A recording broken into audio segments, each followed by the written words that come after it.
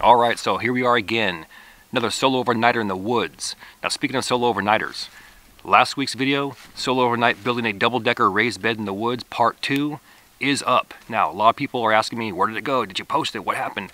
Here's the deal. Push notifications from YouTube did not go out. So I apologize for that.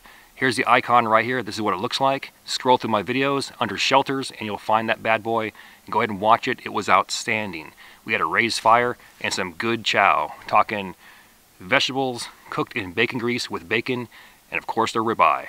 It was badass. Now, back to today's video. I'm thinking there's a lot of people out in the woods right now building shacks, shanties, cabins, and even forts. And most of the time they are referring to long-term shelters.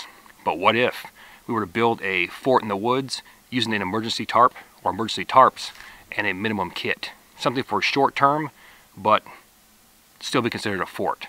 So here we go, solo overnight building an emergency fort in the woods. Enjoy.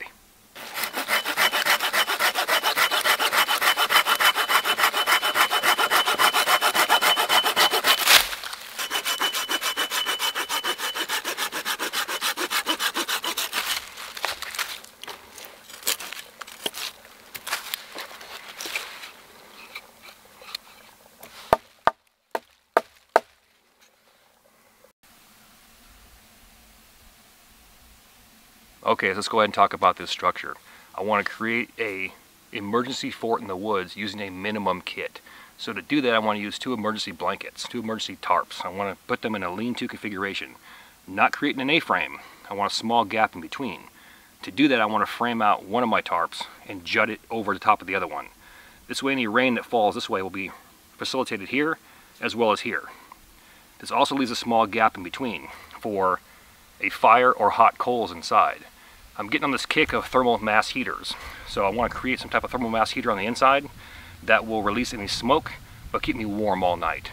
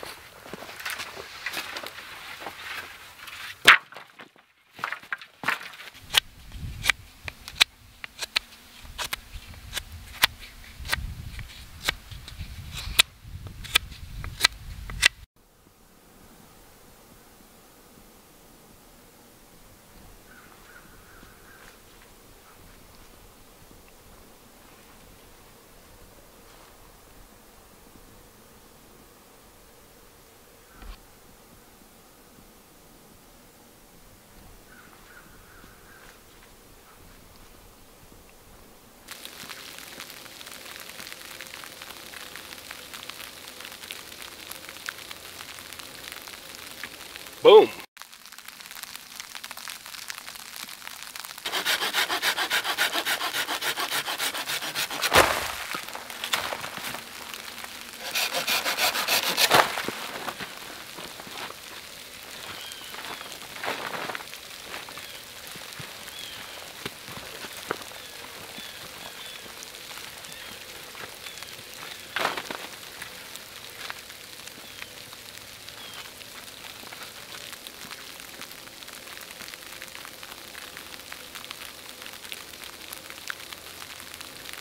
Okay, so, so far so good. Once again, we're looking outstanding. There are Y branches here and here on both sides, and we have our horizontal, which is gonna give it that scissor or pivot action. This one right here, all I gotta do is pivot it that way and raise it up using a couple logs for a wall. This one over here, raise it up maybe about two logs. Over here, probably about four logs. And that will actually give it the small gap in between that we talked about in the beginning.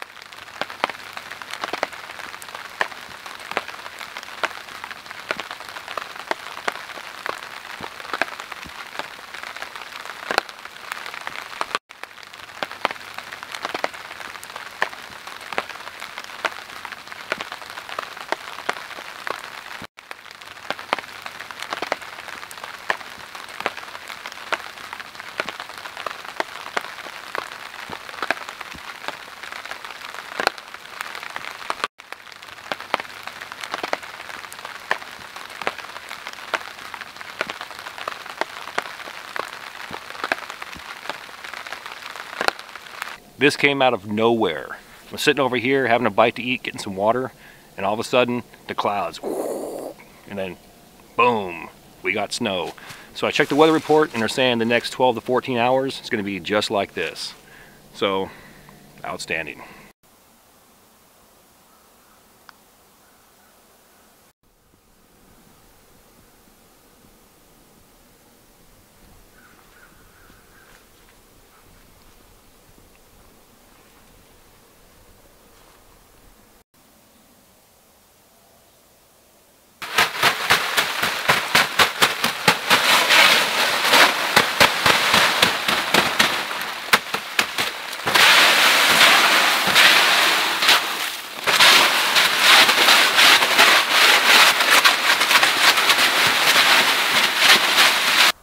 Let's go ahead and pause for a minute.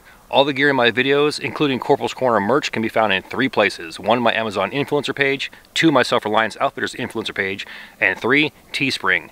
All three links can be found inside my description box.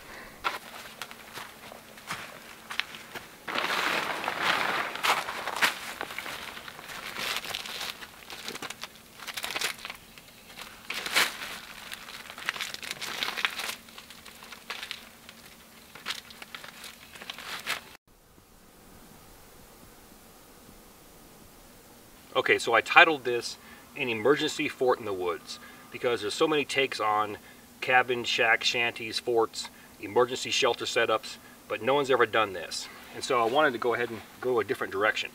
Utilize our emergency blankets, we have one here and here, but create a longer term survival shelter that will do the exact same thing that a space blanket will, but be more rigid. So we have two independent panels here that are lean-tos opposite of each other which creates an A-frame setup. But the real benefit is that they pivot. So using our emergency blanket here, in this case an orange one with three X's, we now have a panel that will move up and down or can be removed and signal for rescue. Our opposite one has a reflective side on the inside, so we can turn that bad boy around and utilize the sunlight as well and get that contrast and movement. So, an emergency fort in the woods. Okay, so that setup right there not only gives you an emergency shelter in the woods, something that can be used for a longer term survival situation, but also gives you a pretty cool fort in the woods. Or in this case, an emergency fort in the woods.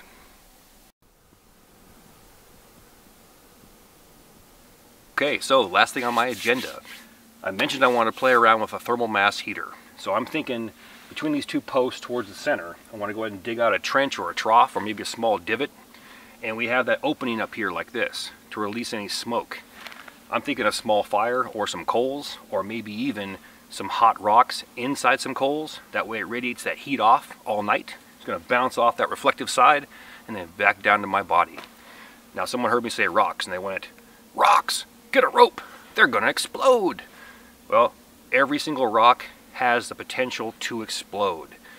The difference is I want to eliminate some of the variables. I'm not going to go to a creek, river, or a lake and pull rocks out. I'm not going to do that.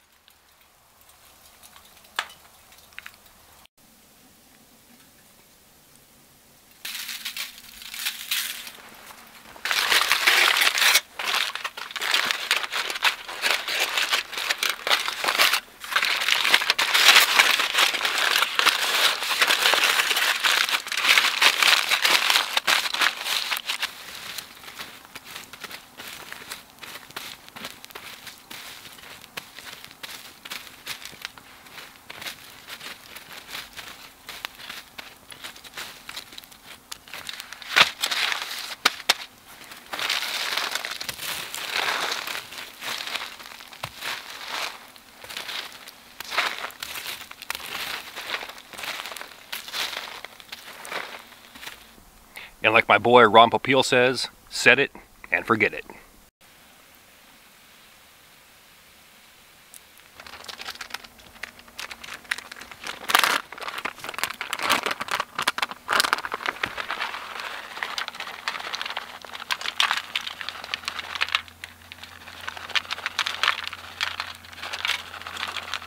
Okay, so what we got going on here? We got steak, we got chicken, we got bacon, squash, Brussels sprouts, onion, potatoes, and cheese. Yes, vegetables. Look at that chunk of steak right there. Oh, man. Mm.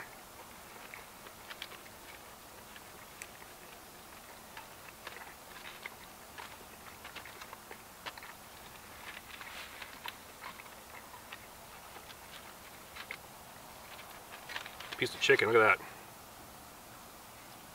That's outstanding as well.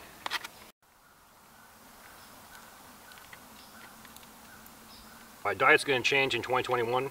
More protein, a lot bigger meals, and yes, vegetables. And it's not because I'm dying or something like, you gotta go see a cardiologist. Um, I'm actually healthy. I work out five to six days a week, and I've started doing a lot of cardio lately. One of my goals has always been to see Everest just sit there and look up and be like, I'm right here. And there's the highest spot in the world. And then at some point, if I had enough money and time and the proper training, I wouldn't mind actually getting to the top of that. Summit and just look up and be like, I am the highest spot in the world right now. I mean, I've always thought that would be cool. But baby steps. Um, so I'm going to hook up with the company September-ish 2021 and go check out the base camp. And I want to be in shape for that while I'm there, get some training, and then, uh, you know, see what happens. Future goals.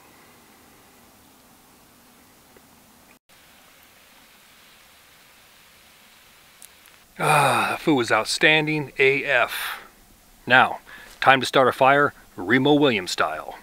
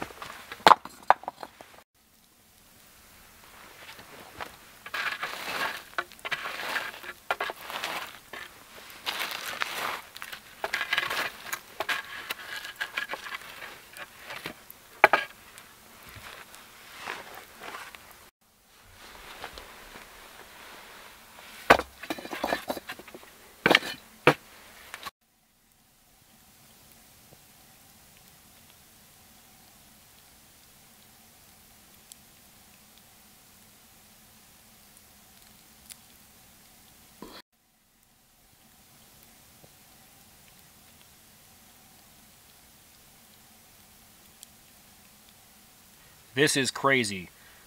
It's exactly what it is, a thermal mass heater. The rocks are all together and the heat is coming off of that. My upper core is actually really warm. If I had a front and a back wall, it would probably heat this entire shelter up. Um, I'm thinking next time, make it a little bit longer, add a layer of hot coals, put the rocks on top, and see what happens throughout the night. But this is insane. I can feel the heat right here. Yeah, it's venting off. It's badass. I mean, it's, it's doing exactly what it's supposed to do. It's radiating the heat off. And I'm happy with that.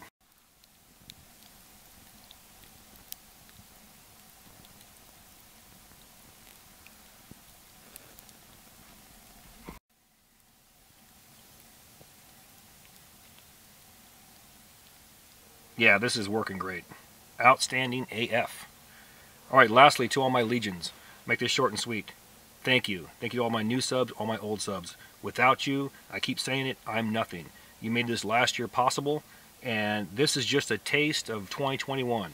We're going to get into all kinds of badassery, so stay tuned. And I really do appreciate every single one of you. Thank you for everything. Those that haven't done it yet, check out my website, corporalaf.com and get on my email list. That way I can notify you when my new videos drop. Thanks again, I appreciate it.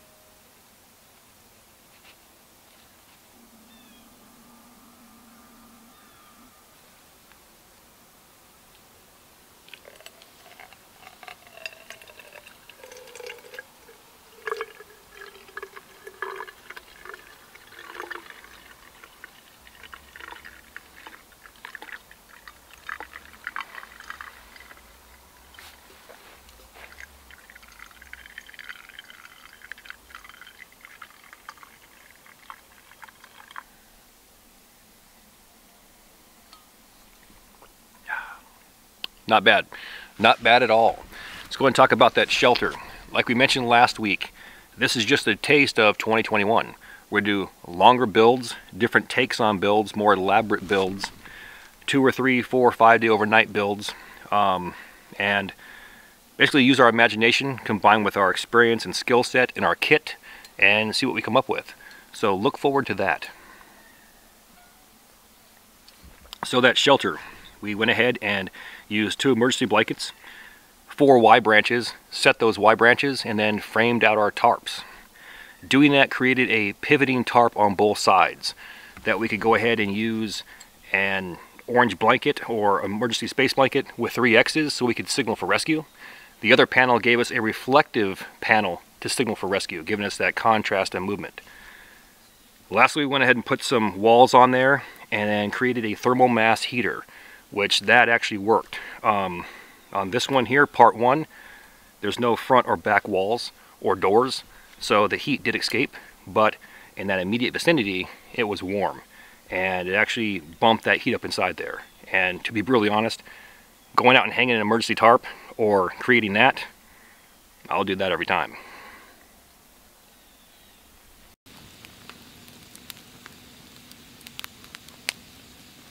Welcome back. Last night building an emergency fort in the woods was outstanding. It's always good to get out with a minimum kit in your imagination and see what truly is possible. With that, all the gear in my videos can be found in two places. One, my Amazon influencer page, and two, my Self-Reliance Outfitters influencer page. And if you're interested in Corporal's Corner merchandise, that can be found on Teespring. All three links are inside my description box. Please do me that favor. Hit that like and subscribe button, then ring that notification bell. Once you ring that bell, please select all notifications. Then take it a step further. Grab your cell phones and download the free YouTube app and sign in. This will give you push notifications when my new videos drop. As always, thank you for your comments, views, and support. Thanks for watching. Get out in the field, have some fun. I'm going to catch you next time.